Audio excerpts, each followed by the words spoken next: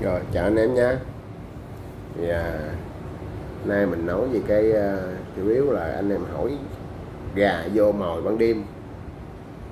Gà vô mồi ban đêm á thì cái ban đêm là cái lúc con gà nó ngủ. Nha cái lúc con gà nó ngủ nó không có cái lượng tiêu hóa của nó mấy cái mồi như là mồi sống rồi đó. Thì mình nói với anh em nó rất là chậm tiêu nó chậm tiêu nha nó làm gà chậm tiêu. Mồi sống á, chỉ ban ngày thôi. Mồi sống nó chậm tiêu. Chuối á, nó cũng là chậm tiêu. Chú sim á, nói chung với chú sim bên nay mai hay gà chứ không phải nó mau tiêu đâu. Chú sim này chứ nó cũng cũng chậm tiêu nha.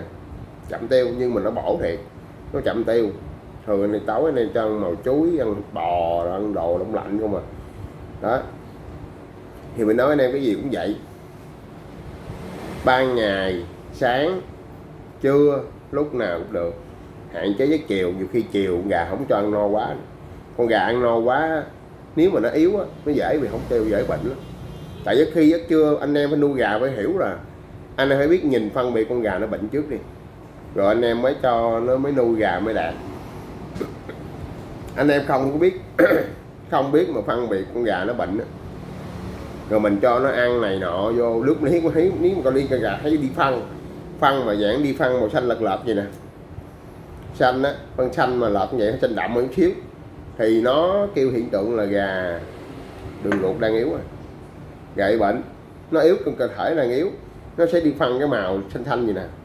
Có khi nó màu xanh đậm hơn này chút hơi xanh là không nha, mà nó hơi ờ, nói chung anh em nhìn cái phân con gà nó đi bất thường, không có giống như bình thường. Đó, là con gà mình nó hơi bệnh. Rồi mình cho nó chiều cái mình không biết phân biệt cái mình cho nó ăn nhiều.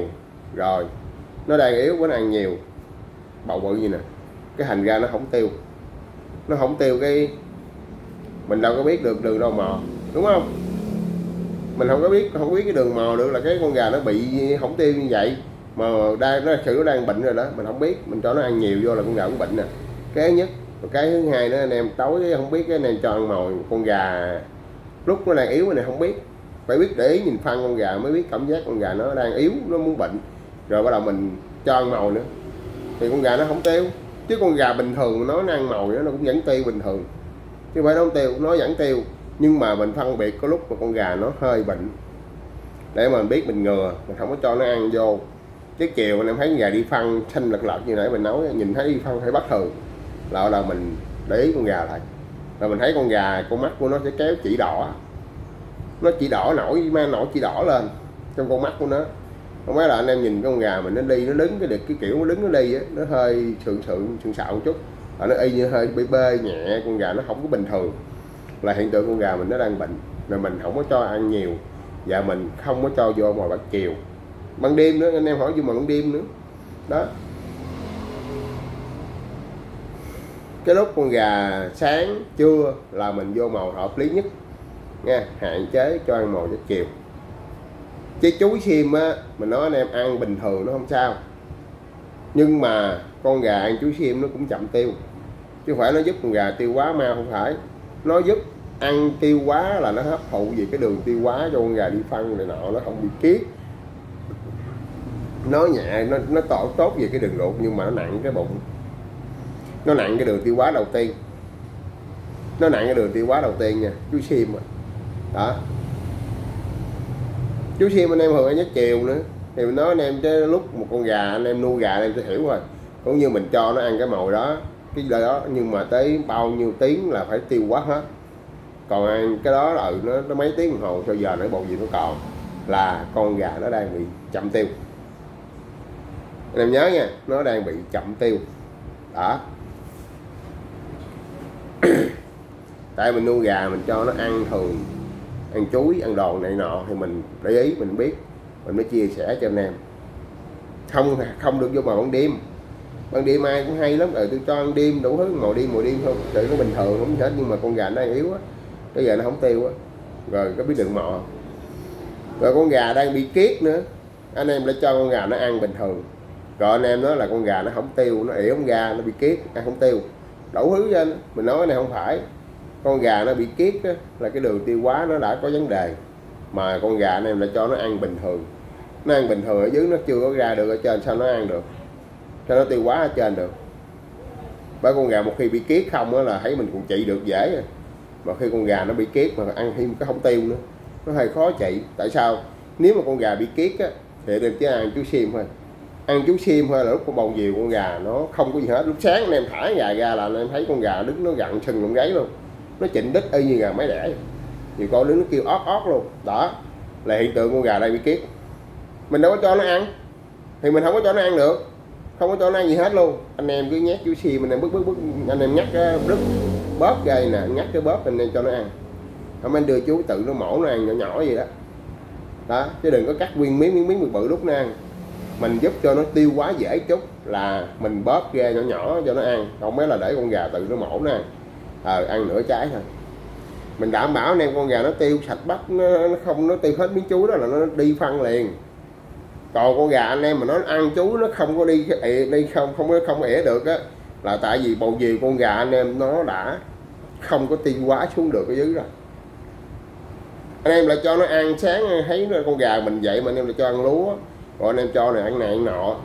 Thì mình nói lúc đó là con gà mình nó đang đi kiết là cái đường tiêu hóa nó chậm. Anh em cứ đã cho nó ăn vô một cái bầu bệnh bình thường bệnh kia rồi. Rồi con gà mình nó đâu có tiêu hóa được. Ở dưới nó không có không có đưa cái bào thải ra ngoài là cái đường ruột nó đang có vấn đề. Mà anh em đưa nó ăn nữa thì cái chính giữa nó ứ lại liền. Lại bầu diều nó đâu có tiêu hóa được. Rồi anh em cho nó ăn chuối vô cái nữa. Nhưng mà con gà nó vẫn không nghĩa được. Tại sao? Tại vì nó không có hấp, không có tiêu hóa xuống dưới cái đường ruột dưới được. Nó ứ trên bầu diều con gà rồi đó. Mình trị con gà bị kiết rồi đơn giản là phải biết cách trị chứ không phải là con gà nó bị rồi một hai nhà hay là bị một hai nhà mà nó ăn cái bồ diều nó không tiêu rồi. Rồi cái anh em cứ nghe mình nói là ăn chuối thì chuối, vậy cái anh em nhét chuối vô, nó vẫn bình thường, nó đâu có tiêu quá. Trái chuối sim á, mình nói anh em ăn á, là nó giúp gì những trường những tràn đường ruột. Nhưng mà đặc biệt á, nó sẽ gây cái hiện tượng là chậm tiêu từ đầu, lúc ban đầu anh em biết không? Nó ít, nó nó nó nó nó ngặt cái chỗ đó đó. Anh em muốn cho nó ăn một cái gì vậy đó thì anh em phải hiểu cái nguyên tắc. Ăn cái đó nó tiêu hóa như thế nào và cái cách kết hợp với trị bệnh như thế nào. Đó, cũng như cái bài con gà nó không tiêu đi.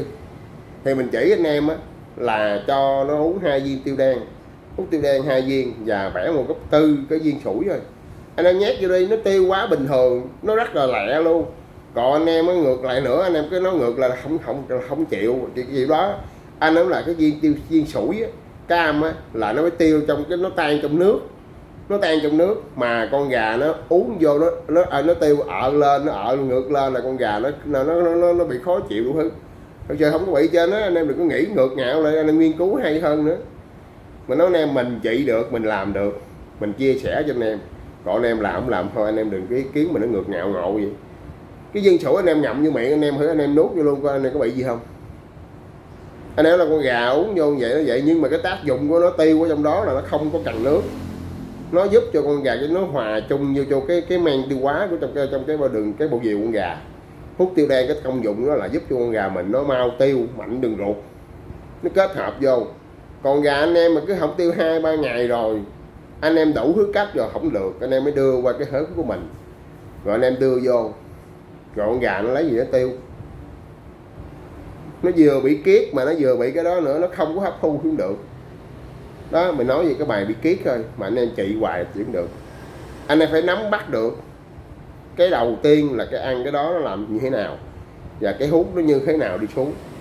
Anh em không hiểu từ đầu. Mình chỉ vậy, anh em đơn giản thôi anh em phải biết tập. Nuôi gà mình nói em nó không có dễ. Nó không phải là nó khó nhưng mà mình phải biết để ý. Ừ mình nhìn con gà nó như vậy chứ không phải lúc nào ừ tôi cũng trị được như vậy. Thật sự nó không phải. Mình phải biết nắm bắt cái nắm bắt cái bệnh của nó rồi mình đưa hút vô mình trị nó dễ. Mình phải không làm cái này không làm cái kia đổ hút chứ không phải là anh em thấy mà càng này, ờ, cho uống đại vô ăn đại vô uống hút vô họ hết. Sự nó không phải. Con gà mà chậm tiêu á là ăn cử sáng. Tới trưa bao nhiêu con gà còn? Là mình nói con gà nó đã bị chậm tiêu rồi. Con gà mình đang chậm tiêu, là mình xử lý hút liền. Hai viên tiêu đen, một gốc tư viên sủi dục vô liền. Là ông bảo anh em lúc đó là nó nó đang mới bị yếu rồi, uống vô đảm bảo tiêu quá tốc độ luôn. Bình thường, những cái bài hút gà chị không tiêu, mình chỉ anh em rất là nhiều. Đơn giản mà hiệu quả luôn, mà anh em cứ thấy mình mắc cười luôn mình nói thiệt, mình chia sẻ cho anh em thực cái là thực tế. Là mình muốn truyền tải cái đam mê và cái đam mê là phải gì? Phải biết trị bệnh con gà. Chứ không phải đam mê là biết nuôi con gà. Nuôi con gà ai cũng được trên á. Nít người già ai cũng được trên, dục lúa cho ăn đại không mà. Nhưng phải biết để ý từng chi tiết con gà mình. Để mình nắm bắt cái bệnh của nó, mình trị như thế nào, cái thập thuốc gì, mình trị như thế nào. Anh hiểu không? Như con gà bị kiết mình chỉ anh em đơn giản vậy thôi. Còn anh em đợi con gà nó mà mấy ngày trời nó không tin, nó ỉ không ra rồi. Rồi anh em bơm hút, bơm đít cho nó rồi đủ thứ trên rồi lúc đó là con gà mình nó không có tiêu ở trên rồi. Rồi anh em cho uống, ăn uống gì vô sao nó tiêu được? Đúng không? Mình nói với anh em cái gì cũng vậy. Nuôi gà thì đơn giản thôi, dễ. Nhưng mà cái người mà không hiểu đứng núi này trong núi nọ thì nó càng khó nữa nuôi gà mà anh em cứ dễ đành đập thở, anh em dễ đành đập đành đập đành đập anh em quản đủ thứ rồi hút gì hút gì đủ thứ anh em chích uống đầm đâm cho anh rồi dứt hành gói nồi luôn tại sao hồi đó giờ mình nói anh em con gà mà không tiêu chị đơn giản như lắm mà tại sao nhiều người anh em nói là kết hợp hút của anh vậy vậy mà nó không tiêu không tiêu đủ thứ Chú cô anh em nhìn lại cách con gà anh em bệnh chưa à gà, gà bị kiết anh em nhìn cách con gà bị kiết của anh em làm chưa chưa anh em chưa biết nó không phải là dễ nó không phải là khó nhưng mà hỏi mình chịu để ý nè mình nhớ không? Chứ không phải là lúc nào nó cũng đơn giản như anh em nghĩ. Mình cũng không phải thầy bà gì hết trơn. Con gà nhiều khi mình nuôi cũng chết hoài. Nhưng mà tỷ lệ nó chết rất là thấp rất là thấp. Anh hiểu không? Chứ không phải là nó bị đồng bệnh như vậy. Nhiều anh em nuôi gà bị bệnh hàng lọt à, nguyên một đám luôn bị bốn năm con bảy năm con bệnh rồi anh em ráo luôn, biết làm hết. Nhưng mà đã từ đầu là một, chỉ có một con thôi. Đó, rối rồi, nói mình rối rồi. Anh em chưa lấy không được, cái hành ra nó bị một đám luôn. Rồi bị một đám mà anh em không biết nắm bắt cái thuốc nữa thì anh em trị bệnh nó còn chết lẹ hơn nữa. Anh hiểu không? Cái nguyên tắc ra tiệm thú y á, không có người nào mà bán, bắt chích một loại thuốc cho anh em đâu. Người ta rút bốn, năm loại thuốc rút cái miếng này, miếng cái miếng kia, miếng miếng miếng chút chút vậy. Rồi người ta mới kéo ra thành một C cho anh em. Xé chích một C chịu một C đó, người ta bán là như vậy. Còn mình chỉ anh em lại cách mà tự mình đã thành công trong cái cách trị bệnh gà đơn giản. Mình kết hợp. Nhiều anh em mình nói anh em một cái một cái rổ thuốc luôn. Cái lúc mà con gà bệnh, không biết thuốc nào là thuốc nào chỉ luôn. Ai chỉ gì mua cái đó, mua tầm lâm một rổ thuốc như vậy nè. Rồi dưới cổ con tới con gà bệnh không biết chỉ thuốc nào luôn lý do không tại vì không nắm bắt được không nắm bắt được cái cách trị bệnh và không biết hút nào là ra mua hút nào, ai chỉ gì mua hút đó, hút mua cả đống cái gỗ vậy. Tới giờ con gà bệnh hết chết, cho viên vàng gà luôn. Có biết học không biết chích thuốc gì luôn. Hút này lúc đó quản rồi, chích thuốc đủ thứ hết. Mình nói em nuôi gà, con gà bệnh rồi, một con thôi không có ngừa được đâu. Con gà đó bệnh là trị ngay con đó từ đầu. Nó bệnh là bệnh không khí, chứ không phải là con gà đó bệnh mà chích ngừa hết nguyên bầy gà không có hút nào kêu hút ngừa cho nó cũng như con gà bị phi khò. Anh em chích con gà đó đi. Ví dụ chích một lần hút đó. Anh em lấy hút đó chích cho những con gà chưa bị bệnh. Nó bệnh là nó bệnh là không có ngừa được. Không có hút nào ngừa. Ngừa là kêu là vaccine mới kêu là ngừa bệnh. Nó đẩy cái kháng thể con gà nó công thức của nó đẩy cái thể con gà mạnh lên con gà nó mới kháng lại bệnh. Chứ không phải là hút, hút đó ở con gà tôi bệnh ba con cái còn năm sáu con tôi lấy hút đó tôi chích những con gà đó tôi chích năm số con nó thêm vô là ngừa bệnh trời cũng phải. Nó không hút ngừa. Hút là chỉ trị bệnh như con gà này kết hợp như thế nào thôi. Đúng không? Không có phải là anh em trị bệnh con gà như đơn giản như anh em nghĩ. Mình phải nắm bắt được con gà bị cái gì. Bởi nhiều anh em điện mình hỏi mình con gà bị bệnh gì bệnh gì mình ưa hỏi dài dòng lắm. Mình hỏi gì mình hỏi mình bắt bệnh con gà anh em. Mình bắt bệnh được. Mình hỏi con gà anh em bị cái gì ừ bị bị mấy mấy ngày rồi, bị cái gì cái gì, bắt đầu mình mới chỉ anh em chứ không phải là mình là cái gì mà hỏi cái mẫu ở ừ, gà bị đó mình đi, mình kêu hút đó hút đó chứ không có. Mình lúc nào cũng hỏi từng ly từng tí hết nhiều anh em hồi gà bệnh hỏi mình, nhưng mà toàn là hỏi đủ hết trên nhưng mình mới bắt bệnh ra được. Chứ không phải là một cái một mà thầy bà nào đâu mà hay như vậy nói rằng cái biết gà bị gì bị gì. Phải hỏi nguyên nhân con gà bị cái gì, mấy ngày, đủ thứ chuyện ở trên đó. cái bắt bệnh thì con gà anh em. Đúng không? Thì anh em là có liên hệ với mình rồi nên tôi hiểu rồi. Đó. Thì mình chia sẻ anh em á là từ cái mà cái tâm của mình. Chứ còn youtube này á nhiều anh em cũng vô bình luận nó gần nút bạc. Mình nói anh em cái nút bạc không có quan trọng gì với mình bên youtube á. Còn nhiều người ngu á tỏ giá nguy hiểm nó là mình làm youtube á, kiếm tiền. Mới lên đây chia sẻ. Thật sự mấy người đó là thiếu hiểu biết mỗi người có một cái đam mê. Mình là đam mê truyền tải cái đam mê của mình. Hồi nhỏ mình cũng y như anh em vậy. Bị người kia cười chê đủ thứ chứ. Mình học hỏi gà mà nó nói mình này đủ thứ, người này kia nói nó đủ thứ chuyện chứ á vậy mà sau này giúp cụ mình lớn rồi mới biết. Mấy người đó không biết nuôi gà luôn.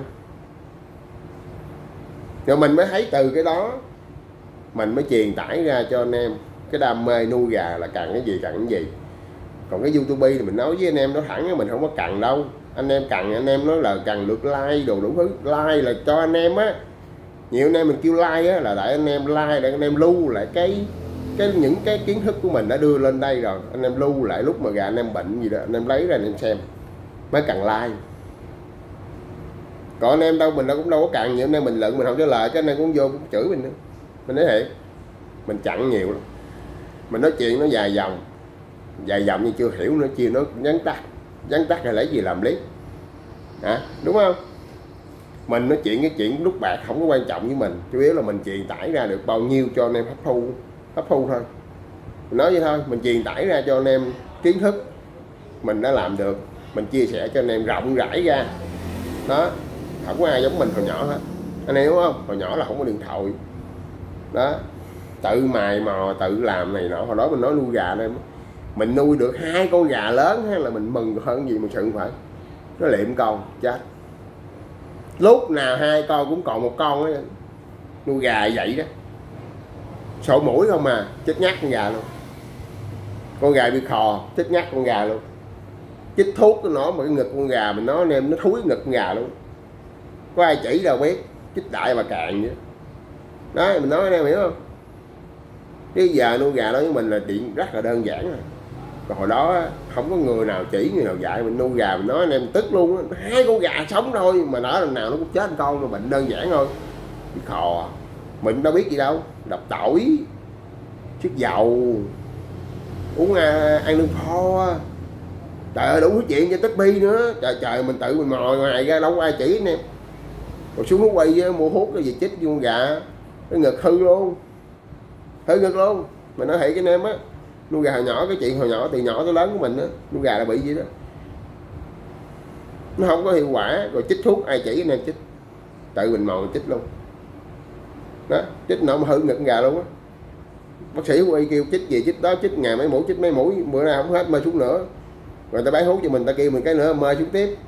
Mà khi ra tới giờ, cái dục đó, chứ giờ con gà mà nó nói mà nuôi mấy con gà hồi đó mình bị chết đó. mình tức tới giờ luôn.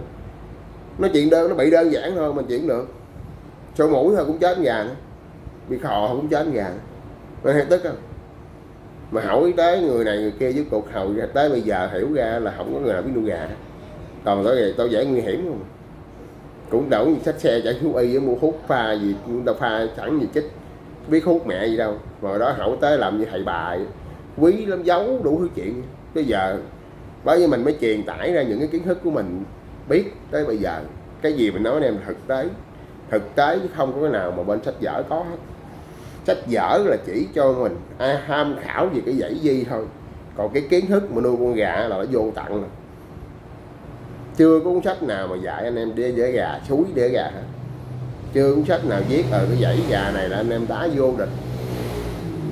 Có không? Không có sách nào. Người xưa người ta truyền tải là những cuốn sách đó là để mình kiến thức, mình xem dãy di. Ờ dãy nó tốt dãy xấu nhiều loại vẫy mỗi vùng miền kêu tên khác nhau. Người kêu cái cái cái này cái kia, nó cũng như như là thầy với thầy tranh cãi với nhau ờ tao kêu bằng dãy đó vậy đó.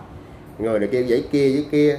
Cũng như là một người, hai người giành với nhau là cái trứng với con gà, cái là có trước nó ơi như vậy à. Bởi vì nói anh em cái gì mình hiểu biết tới giờ mình chia sẻ cho anh em là đam mê, tất cả anh em đam mê gà là đều là bạn hết anh hiểu không? Cùng một niềm đam mê với nhau. Nhiều người già 90 tuổi, tám mấy 90 vẫn còn ôm gà đi ra trường nào chơi. Đó, anh em hiểu cho đam mê là bắt tặng. Đó, bởi vì mình cái gì mình biết, mình chia sẻ cho anh em chứ phải mục đích mà các anh em có đam cái youtube thì kiếm tiền không có không có đồng bạc nào không thấy đến á. Chỉ cái kênh youtube là chỉ có kênh đi ẩm thực nè, kênh giải trí nè, anh em mới có tiền. Anh hiểu không?